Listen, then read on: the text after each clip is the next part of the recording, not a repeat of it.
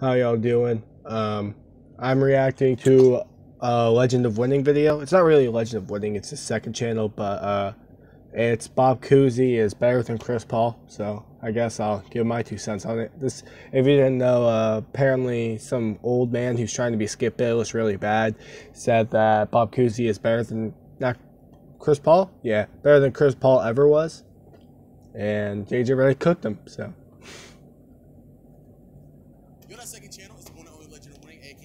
Low. We need to figure out is Bob Cousy better than Chris Paul? And in passing, you made a comment about Chris Paul, saying that Chris Paul was up and down. My issue with this is that Chris Paul has been a model of consistency for 17 years, and in the playoffs, he has been great. And if you're going to point to one or two games, we can do that with every player. With every I'm sure we can go back. By the way, for anyone who actually agrees with this, Bob Cousy had Bill Russell, uh, our the bet like Bill Russell to on his team for literally every one of his championships that Bob Cousy won. Chris Paul had Blake Griffin, DeAndre Jordan for multiple runs. He had James Harden, who's one of the biggest playoff chokers in recent history. Not saying he's a bad player, but he's still one of the most one of the like obviously he's decent in the playoffs, but James Harden's not a good player in the playoffs. And now he has Devin Booker, a very unproven young talent, who yes made the finals, but that was mainly because of Chris Paul's greatness. So Chris Paul's never had, and don't bring up the early uh, Hornets runs because Chris Paul's never had like a superstar teammate like Bob Cousy did. So that that's my two cents on the situation, but that's all. That's all I need to say. Yo, shout out to JJ Redick. Keep, keep calling him like it is, like dead ass, no cap. I don't understand why people do this with Chris Paul, where they act as if like he's the only great player in NBA history who has bad moments and bad games. Yeah. It's just that championship, No cap, no cap, that's but what's more ingrained in people's mind. and they no cap. He he's been he's been. scared of this concept of who he is as a player, especially in the postseason. But no, no, no. Like Chris Paul, if you go look at the numbers, if you just watch him play, he's been a, act- a rather consistent performer in the postseason. He's actually literally one of the best postseason players in NBA history. But the biggest reason why just doesn't translate into a championship is either A, he's facing players who are just better than him, and I think that's a fair assessment, or B, injury. Yeah, he faced the Warriors like two years in a row, or five years in a row. He was facing the Warriors like almost every year on the Clippers. When he made it out of the second round, he had to face the Rockets team. I think no, it's this not. Yeah, this was a Rockets team. I don't know. All I know is Chris Paul's faced way better competition than Bob Cousy did. It's not. It's not not cap. It's just factually true. And Jerry West was like JJ. I I watched this. Jerry West was pissed because JJ Redick called him a firefighter. Jerry West, you're a racist. I don't have to de- take your opinion any seriously. You're you've literally said some outlandish stuff, Jerry West. So your opinion doesn't matter to me. you were scoring 40 and telling your teammates to get on the back of the bus. I don't want to hear it. That's, that's literally the only reason why. But to argue that like Chris Paul is a bad postseason player is ridiculous. It's ridiculous. But people have just built up that concept of who he is, and that's just not the case. he lost that series against the Clippers. Missed four free. Was it two or four? no, no, no, no, no. It was, it was a, it was. I was on the team. It was He missed a turnover. He fouled Russell Westbrook, and then he turned it over on Then the he line. missed two free throws There was no this man JJ Mike. No, I was on the team. I was there. It was a turnover. Imagine telling the dude that was on the team, like the dude who was there, witnessed it, what he did when he- that's not actually what he did. Imagine like he had five turnovers, and dude's like, I was there. He had one. free throw But, the ball. uh, how about last year in game, how about last year in uh, one of the games against Milwaukee? Did he have five points in game five against Bucks? Was off for the game. What? what? Well, I got let me let me just fact check I don't this real quick. I don't think Chris Paul had five points. I'm pretty sure he had like twenty or something or sixteen. Let me fact check this real quick. Let me fact check. That is one To hundred. answer your question, no, no. Chris Paul never had a five-point game in the playoffs, and this is the reason why it's so hard for me to take people, especially older people, serious when talking about. No cap, no cap. For you to want me to believe that you remember vividly about things that may have occurred 10, 20, 30, 40 years ago is just outrageous. And it's fine. Like it's, it's completely fine. Because there's moments where you just don't remember. That's, that's Yeah, but the five, five points. Chris Paul. that happened just either a few years ago or even just a few months ago. Chris Paul didn't have a five point game in the finals. He didn't have one. He's, he had a bad game in the finals. I'm assuming he's referring to the, the game four or five where he was held to 10 points, he have a five point game. But even if, like, I were to say, That's absurd. From 10 to 5 points, you're cutting his points in half because you're trying to push this narrative that Chris Paul is the ultimate playoff choker when that's not the case. He's literally on in most of the playoff runs, he's been the best player on those teams.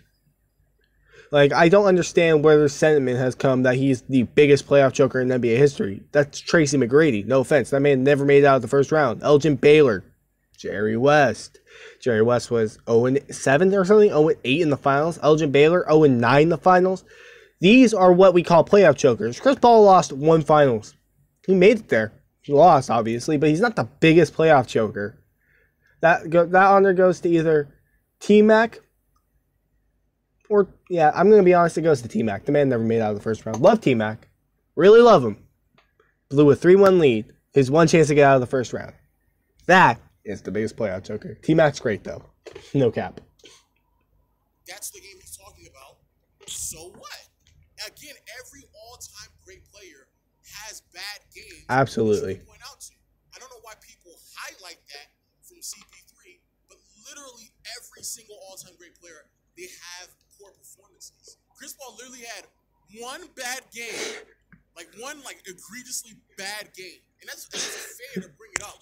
But to act as if like that's a depiction of what type of player he was in the finals is ridiculous. Absolutely. That's not, that's not actually what occurred. But again, you do this for players that you're trying to push an agenda for, a narrative for. I don't. Oh, by the way, if you're wondering why I went off on Jerry West earlier, I completely. Uh, he said, JJ Redick, you were just a role player. Well, Jerry West, you were just a playoff choking racist. completely confused about it. But no, I'm not. I'm not going to sit here and take somebody serious. If you can't tell. doesn't even remember what happened a few months ago, and you want me to believe that he remembers vividly what might have happened a few decades ago? No, bro. A few decades ago, you're talking about the 50s. That's not a few, that's a good amount of decades. But if you're wondering why I don't, I definitely don't like Jerry West, if you couldn't tell. I will make fun of Jerry West. I don't like him. He is not. He is not that guy. I'm not. I'm sorry, dog. I'm sorry. He's an all-time great point guard. Without question, wins a championship. He's in the conversation for the greatest point guard ever. I'm not Oh, saying he's not Bob Cousy is nasty. He's not Bob Cousy is nasty. Imagine he's got Lowe's probably gonna get to it. But imagine comparing a guy who never shot over forty percent. Not even that's not his three point percentage because there wasn't a three point line. That's his field goal percentage. A guy who never shot over forty percent in his career to a guy who shoots 50, 40, 90 some years. That's nasty. He's not Bob Cousy. You're nasty discount Skip Bayless. Look, let's celebrate Bob Cousy in his era, but you can't compare pre-1980 with with Oh, yes, you can. with the. No, you can't. No, you Cousy, cannot. well, how about West and Oscar? Were in the same era. You can How about West and Oscar? They were literally competing in the same era. What? how, how, about we compare West and Oscar? How about no? No one cares about those two. One's a stat padding loser, and the other is just a loser. No, I love Oscar Robertson. I I know he's not a stat padding loser. He did win the championship. Unlike some racists out there. people got so upset about the things that JJ Redick is about to say and what he's been saying. I want people to recognize that everything that JJ Redick is saying is factually correct. Yeah. Bob Cousy played in an era where there was like eight, ten teams in the league. Almost every team in the NBA in that league at that time made the playoffs. Yeah. You had to literally have been the worst team in the NBA to not make the playoffs. One hundred percent facts, and that's why Bill Russell is eight on my all-time list. Uh, like he won eleven rings. Obviously, you're the best. Like to do that, you literally have to be the best year in, year out. Like no, not one person could dethrone him. Even short amount of teams means more teams, more good players are spread out on every single team. So obviously, the best players are spread out on every single team. There's more good players on each team if there's less teams. So for Bill Russell to dominate like that, it's insane to me. That, but he still ate because it was still a small amount of teams. There weren't as many playoff games and there weren't as many rounds. So it's obviously gonna like skew my view a little bit. But that man Bill, he got it. I do not like Boston fans. They pooped on his bed if you didn't know. Yeah. If you didn't know, crazy story. Boston fans broke into Bill Russell's house and crapped on his bed. teams making the playoffs in an eight-team league. It was not impressive at all. Like nothing that they did was impressive. It doesn't matter in terms of modern standards or even back then. It just was not that Yeah. impressive. Just How long wasn't. have we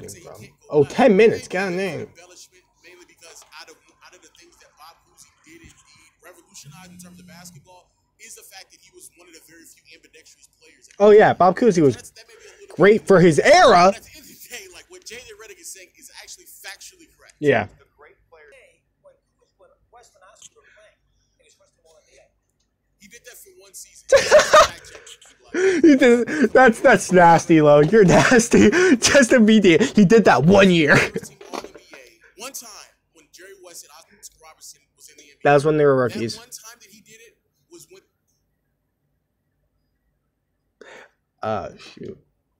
Oh, an ad. I'm not giving you any. No. at when as soon as their sophomore season hit, Bob Cousy was no longer making first team All NBA. It was just like that. It was Jerry West and Oscar Robertson was in the NBA. That one time that he did it was when they were rookies. After that, at when as soon as their sophomore season hit, Bob Cousy was no longer making first team All NBA. It was just like that. It was done. They came in the league second year. They were already better than Bob Cousy. I don't even have to compare Bob Cousy to players in today's game. I'll just compare Bob Cousy to other greats at that time. Oscar Robertson and, and Jerry West in their second years were leaps and bounds better. Ah. Leaps and bounds better in his rookie season. He was already Ah. noticeably better than Bob Cousy. Ah. That's against Weston Oscar. I can't keep pausing. This is a 16 minute video. This video is gonna end up being an hour if I keep To pausing. answer that question, yes. Chris Paul has been all first team All NBA. He's done it multiple times. He did it against much better competition. This is nasty. I'm sorry. Bob was one of the most progressive players. This is some nasty. It's true. I can't say it's slander because it's true. He, never shot above 40% from the field. Here's the thing. People, people got upset. That's nasty. like he's holding to a different standard. It was different back then. You're right. It was different back then. It, it absolutely was. It was. It was a horrible league. It was horrible, trash league. Oh, oh, oh my gosh, that's nasty. It was a horrible trash. You're nasty, Lo. That's nasty. That's just how they played. You have to compare it to to to that era. Let's let's do that. Bob Cousy was still inefficient even for his own. Oh, there was only I actually like Bob Cousy, He had a but yeah. higher than league average. Only three. So even if we compare Bob Cousy to the era in which he played in, he was still inefficient. Eh. What's even crazier is, as soon as Oscar Robertson came in the NBA, oh, he was shoot, he was able to shoot in the high forties. He was able to shoot over fifty. Actually. Ah. As soon as Jerry West Ah, that's a- like that, oh, he's, he's, he's definitely shooting Ooh, that's a bullet. Ow. Ugh. He was literally inefficient relative to his own era. Ah, he's so ass. Bob Cousy's so bad. You know, he was being guarded by plumbers and firemen. Oh, come on. That is true. Stephen A. That is true. Hey, hey, Stephen A. Smith on the side said that is true. hey, hey, hey, can't kill the messenger there. That's true. Which is crazy. That actually is true. People drag the whole plumber argument for like the 90s and 80s and stuff like that. But literally, and I do mean literally, in the 50s, playing basketball was like a side thing. Side Yeah. thing Uh, well, like that was not. They weren't. I'm let it a We're to eight minutes, but wage. They weren't Yeah. having regular nine to five. I wouldn't finish this point, but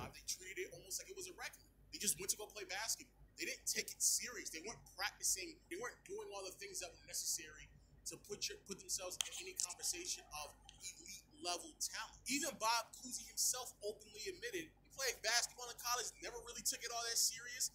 Wasn't even expected Yeah. to get drafted in the NBA because he wasn't like that wasn't something that he was doing. When he got drafted in the NBA, he had never seen like an NBA or a BAA basketball game in his life at that. There were even those resources that were available to Bob Cousy even then that he didn't take advantage of. Yeah, 100%. Basketball seriously enough for that to be Hundred percent. they were as players, as, as people. But Bob Cousy was literally matching up against firemen. That is, that is actually. Ugh, that hurts. People out there who to say, like, what about Jerry West, Oscar Robertson? I want to say majority of Bob Cousy's career was actually played in the 50s, before Jerry West, before Oscar Robertson Yeah. came into. I'm gonna cut him off there because I don't want to steal his video. This is pretty much already like I've already taken half his video, and I don't want to like. You, if you want to see the rest of what he says, go watch the video. I'm not gonna. You don't just get to come to me and watch his video. Obviously, I I, I love Legend of Winning. Very smart dude when it comes to basketball. Very good takes, and I love his content. So I'm not gonna steal his entire video because I've already stolen half essentially, and I don't want to. Like if you've watched this and enjoyed me talk his video just from me reacting to it, cool. But go watch his actual video. It's called uh one second. Bob Cousy is better than Chris Paul. Foot on the line. If you want to see the rest of what he has to say, go watch his channel. But I'm just gonna get. I'm gonna make the transformative. Give my opinion on Bob Cousy. Right. Like he was saying, he never shot over forty percent. He was being. He was literally being guarded by bums. These guys, like, these guys are actually bad at basketball. They weren't playing, and it's like, how are you gonna say a guy like Bob Cousy, a guy who never shot over forty percent, is compared to Chris Paul? That's my opinion on it. It's just like he's being guarded by people who took basketball as a side job. So that's my whole take on it. If you guys agree or disagree, cool. I don't care personally. It's your opinion. If you think Bob Cousy's the greatest point guard ever, go ahead. But um, I hope you enjoyed this video. Uh, please go check out Legend of Winning and Foot on the Line. Uh, both great channels run by the same person and playback. Playback too. Uh, hope you all enjoyed this video. Uh, if you want more, leave a like, subscribe, all the generic YouTube stuff. Uh, I hope you enjoyed. I will talk to y'all later.